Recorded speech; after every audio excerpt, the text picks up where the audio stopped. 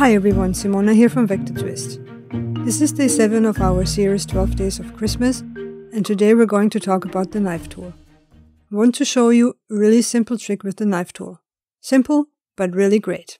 So for example here on my artboard, I have the shape of a candy cane. Now I would like to cut it up into pieces so I can add my gradients to make it look like a candy cane. And I could go several ways about it. I could create lines with the pen tool.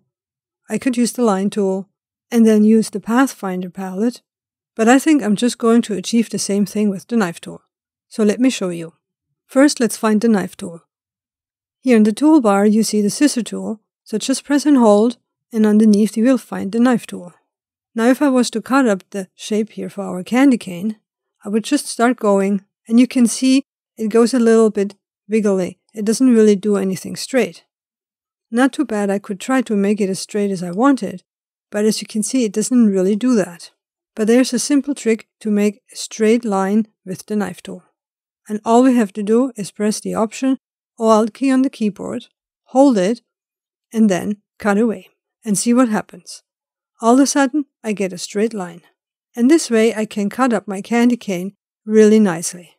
And once I get to the top part, I'll just cut away, and I keep the Option or Alt key on the keyboard pressed, and I cut my candy cane into shapes.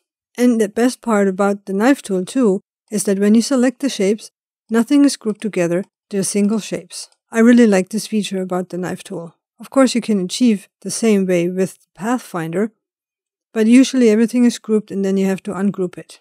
So now all we have to do is just select the shapes and then fill them with a color. So I'm going to select all of the shapes I would like to give a white gradient to, and I'm going to select the black shapes and apply a red gradient. I might have to change the gradients here a little bit, but that's easily fixed with the gradient annotator. This is a really short tip here how you can create shapes really easily, cut them up with the knife tool. Simple but yet very useful. And this is it.